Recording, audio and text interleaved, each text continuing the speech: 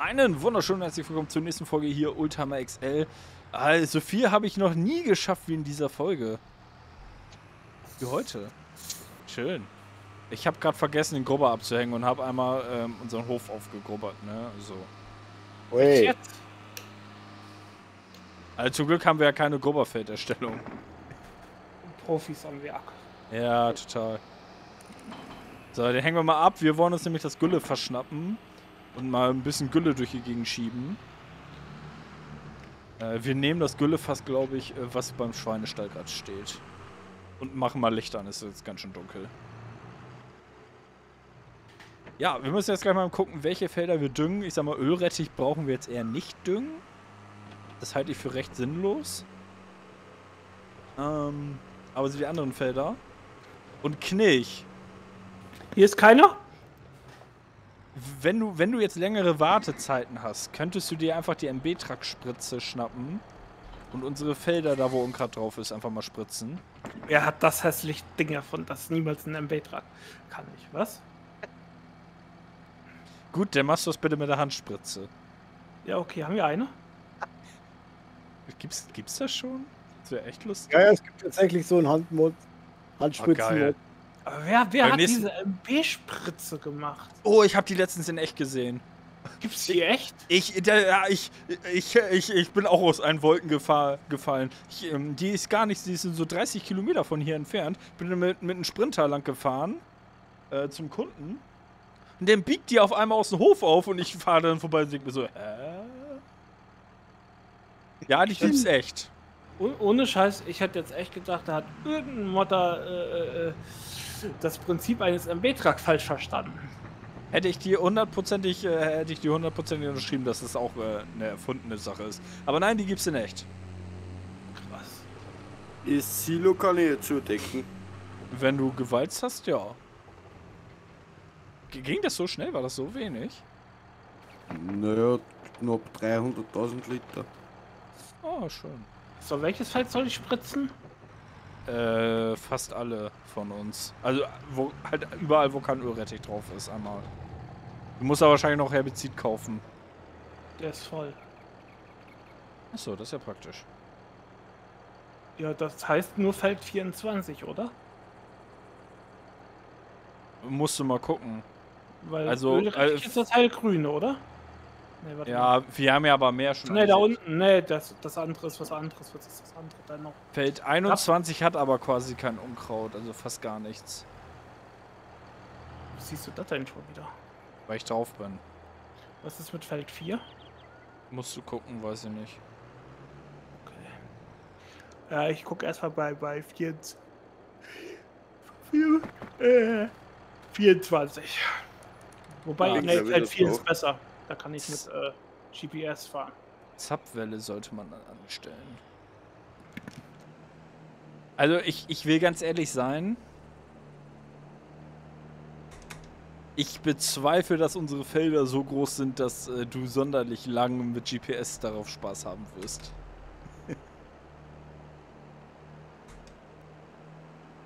so, ich fahre auch mal mit GPS. Was hat die Spritze für, ähm, für, äh, für Arbeitsbreite? Das sind auch über 30 Meter. Ja, okay, gut. Oder, oder 24? Ich bin mir gar nicht sicher.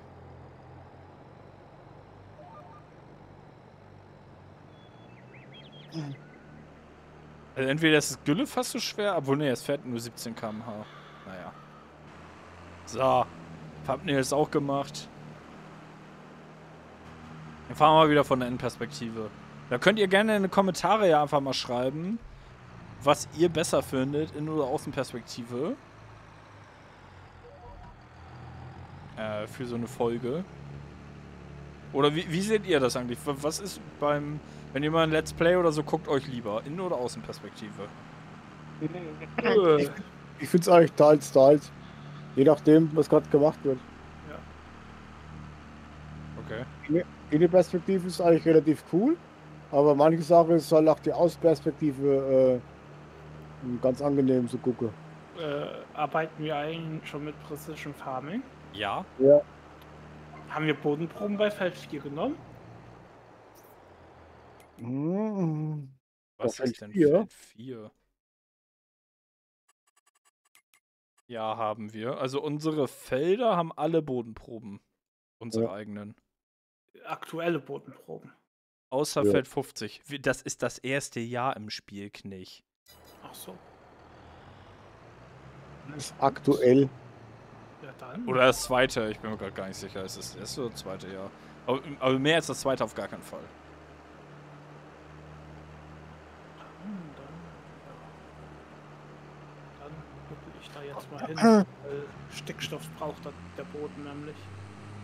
Ja, da bin ich ja gerade bei. Du sollst spritzen, Herbizid. Ja, ja, ja. Ich sag ja nur. Ja, ja. Deswegen fahre ich ja mit Güllefass und danach können wir Mist streuen. Hm.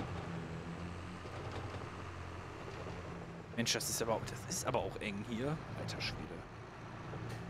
Macht, ist eine ganz neue Experience mit den Zäunen. Hallo Knich. Sag mal! Du fährst doch nie hier lang, du fährst doch sonst immer äh, durch den Tunnel. Du sag mal, wieso kann ich Herbizide hier abladen?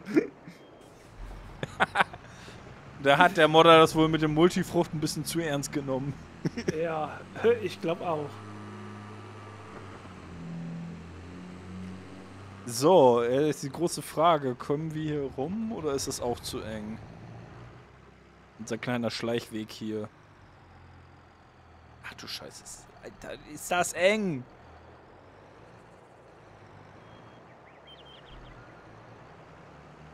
Äh, aber es geht, es geht! Super, es ist leer. Fahren wir mal zum Kuhstall.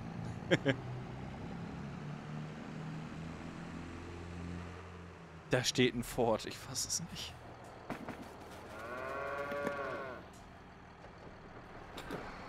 Und ja, Leute, es ruckelt wie Sau seit heute.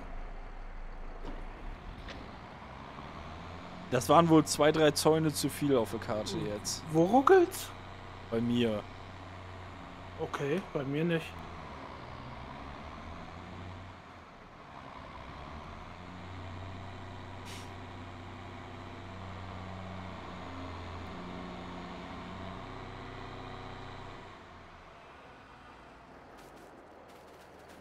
Aber ich habe äh, vor ein paar Tagen auch die Schattenqualität etwas runtergestellt. Oh, das wäre oh, das wär tatsächlich eine sehr gute Möglichkeit. Ja, Wobei ich glaube, ich habe die eh schon auf Mittel. weil ich hatte das Problem tatsächlich bei uns auf der Map auch, weil ich das viel gebaut habe. Da, da kann ich tatsächlich mal gucken, auf welche Qualität ich die eingestellt habe. Sag mal, bis Mittel kann man das ja immer noch runterstellen. Ab, ab Mittel wird es dann tatsächlich meiner Meinung nach ein bisschen hässlich. Jupp.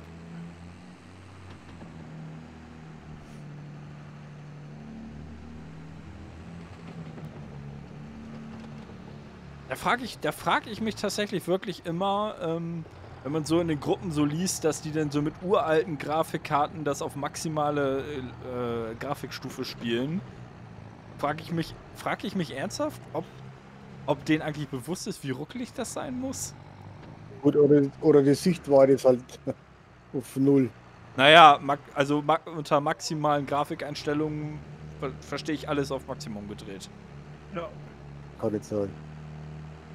Ja, das kann natürlich sein, dass es Leuten gar nicht bewusst, also dass die daran gewöhnt sind, dass das Spiel halt nicht flüssig läuft. Weißt du, was ich meine? Das ist so, ja. Das, ist ja. Ich, ich sag mal, das, das, das kenne ich ja auch so äh, von, damals vom Gamecube, wo ich dachte, wow, flüssiges Bild. Oder als ich den LS17 mit einem Laptop gezockt habe. ne? Und denn, also, äh, man empfindet ja immer das, was man gewöhnt ist, als gut, ja. Das stimmt schon. wenn man nichts Besseres kennt. Ja, das ist, das ist das typische Beispiel, wenn du da ein Fernseher daheim hast und guckst immer in einen normalen Fernseher, denkst du, das Bild ist okay. Ja. Dann gehst du irgendwann mal zum Mediamarkt oder irgendein großes Fachgeschäft und siehst du mal 10, 20 Fernseher an der Wand und denkst, da siehst du erstmal einen Unterschied. Was es eigentlich gibt. Ja. Es, das ist kein Scheiß. Ich, ich kann kein normales Fernsehen mehr gucken, ne? Ich, ich, ich, ich denke mir jedes Mal, se- seit, also seitdem ich, also je, jetzt umso schlimmer, ne? Ähm, Aber wie, immer, wenn ich mal das normale Fernseher angucke, denke ich mir so, ey Leute, das ist eine Dia-Show. Wollt ihr mich verarschen? Ja, ja.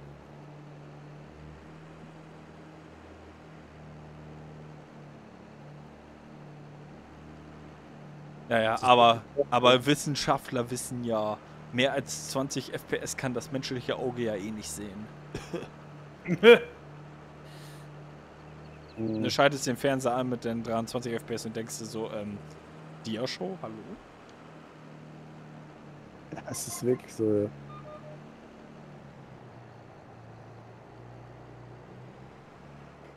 Ist halt sehr situationsabhängig. Ich sag mal, wenn du ein Standbild hast, wo eine Person an einem Platz sitzt und seinen Kopf ein bisschen von links nach rechts dreht, ist das ja okay, aber wenn man halt viel Bewegung im Bild haben hat. Ich, ich fand es tatsächlich, ähm, die Anfangszeit, äh, wo es losgegangen ist mit Media Mediatheken von ARD und ZDF, äh, haben wir dann mal die Anfangszeit ein paar Sachen geguckt. Das war wirklich so, wirklich so, äh, ähm, auf Full HD zu gucken, äh, äh, so ruckelig, dass du gedacht hast, du kannst das gar nicht gucken. Ne? Wenn jetzt zum Beispiel das Auto vorgefahren ist, hat die Felge so wie so ein Spinner, weißt du, wo du dann die, die gar nicht so richtig dreht, sondern hast immer so, äh, äh, wie du sagst, eine Dia-Show gehabt. Ja. Das war tatsächlich- am Anfang, das war, das war einfach so, ne? Und hast gesagt, nee, also hier ist, das möchte gar, gar keinen Bock, Mediathek zu gucken. Mittlerweile ist es natürlich auf ganz anderem Niveau. Ähm, da sieht es auch gut aus, ne? Also am, am Anfang war das ja aber auch wirklich, äh, also ha, haben die, haben die, ich sag mal, die Mediatheken von den Fernsehsendern ja auch alles falsch, also alles, alles was am, was, was am Fernsehen scheiße war, haben die ja wirklich eingebaut, ne? Ver, ver, verstehst du, was ich meine? So, irgendwie, du hattest ein Bezahlabo und musstest dann trotzdem noch Werbung gucken, dann schlechte Bildqualität und so weiter. Das volle Programm quasi, ja. Ja, ja.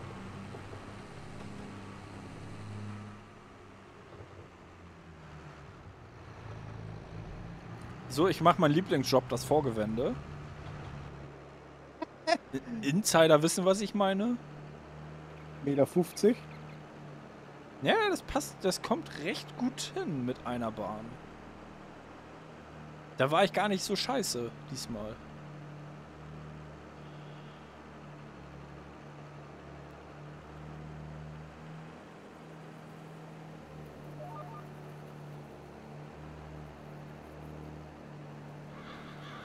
Ah, Gülle ist schon wieder fast leer. Ja gut, das das ist ja auch erst zwei, drei Monate her. Ja, das geht recht schnell, ja. Aber wenn die mal äh, tatsächlich mal äh, auf 100% laufen, dann können wir uns vor Gülle gar nicht mehr retten. Boah, mal gucken, ne? Ja, du musst es noch äh, verkaufen. Sonst läuft es über. Ja gut, dafür haben wir jetzt ja erstmal ja auch einen weiteren einen Tank, ne? Obwohl, da kann ich tatsächlich auch gleich mal gucken. Haben wir bei den Kühe jetzt Stroh kippen? Äh, mit dem Ladewagen musste, also mit den Futtermischwagen musste reinfahren. Und dann schreibt er mal, Stroh wird hier nicht angenommen. Dann Ist ist er das schon voll? voll. Hm, 32.000 Liter und er, der Balken ist aber rot. Ah, Ist ganz unten. Fehler. Das ist ein Anzeigefehler. Okay. Das habe ich auch schon gehabt. Bei meinem Bruder auf dem Surfer das allergleiche. Das hatten Knecht und ich letztens ja auch, wo er gesagt hat, oh, bei den Schweinen ist nichts drin und ich dann so, äh, Knecht, das ist voll. Ja, ja, ja. Ich weiß auch nicht, was das Problem ist. So. ja. Viel interessanter hatte ich es letztens auf dem Feld. Wenn du am Feld guckst, dann zeigt er dir ja auch die Ergebnisse von Precision Farming an, ne? Ja. Dann hatte ich auf, auf der Map hatte ich pH-Wert rot und auf dem Feld war es aber der Stickstoffwert. Okay. Das habe ich jetzt so noch nicht gehabt. Ja, das war, äh, da habe ich dann auch erstmal da gestanden, äh, ja, äh, äh, was mache ich jetzt? Also, ähm, Stroh ist bei den Kühen fast voll, nicht ganz, aber auf jeden Fall ausreichend. Bei den Schweinen genauso. Die Schafe sind ja so, so ab, momentan obsolet.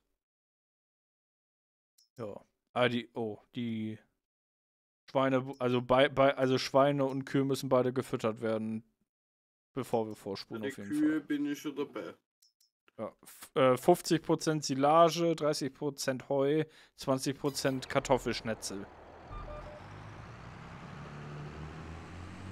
Ja, nur ist das Problem, dass der Futtermischwagen ist.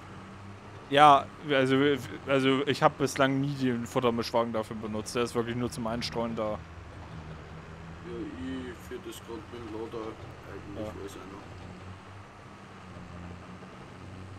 So, mit ein bisschen Glück haben wir ja noch in unseren... Oh Gott, hier muss ich den Weg auch nochmal glatt ziehen. Das habe ich noch nicht gemacht. Eieiei. Ähm, in unseren äh, Silo haben wir vielleicht ja auch noch Gülle drin. Vielleicht, vielleicht auch nicht. Das werden wir jetzt rausfinden. Wenn wir was neu gefahren haben, ne? Ich bin mir ehrlich gesagt nicht sicher, ob wir nicht eine, einfach eine Silo-Erweiterung hingestellt haben. Okay. Ich habe da irgendwie was im Kopf. Äh, nee, haben wir nicht. Gut. Dann schnapp ich mir doch tatsächlich mal einen Mischstreuer. Also das müssten wir quasi per Hand voll machen, gell? Aus dem, aus dem Stall umlagern. Ja, wenn es irgendwann mal soweit ist, ne? Ich sag mal, ma, zwischendurch fährt man ja auch immer mal wieder Gülle und so. Logisch, logisch. Ganz ehrlich, brau brauchen wir zwei, ähm, zwei Mischstreuer eigentlich? Für die Zukunft sicher irgendwann. Haben wir damit auch Kalkstrahl? Nein. Geht nicht. Also wir brauchen Kalkstreuer tatsächlich zukünftig. Das war, das war ja der Mod, der Probleme verursacht hat. Ja, ich hab's mitgekriegt, ja. Ja, aber hast du nicht gesagt, dass der geupdatet ist und dass das funktioniert? War das so? Nee. Wer? Was? Wer Nee, ist geupdatet? nicht. Obwohl ich bin mir nicht sicher. Ah, Müsste ich mal gucken. Kann sein. Äh, Patrick, du hast gerade den Lader, oder? Ja. Äh, mö- mögen Sie mich zwischendurch aufladen? Wäre das okay? Kann ich machen. Aber Freunde, beende ich die Folge. Wir sehen uns in der nächsten Folge wieder. Ich werd, wir werden jetzt erstmal einfach nur so weiterspielen, ohne weitere Aufnahmen. Und in der nächsten Folge könnte sein, dass wir da den nächsten Auftrag von der Gemeinde machen. Äh, Die hat für den Januar schon was angekündigt, dass sie im Januar ganz gerne einen Wald aufgeforstet haben möchte. Yay! yes. Yay! Unterstützt gerne das Video. Bis dann, danke und ciao! Ciao. Ciao. Ciao!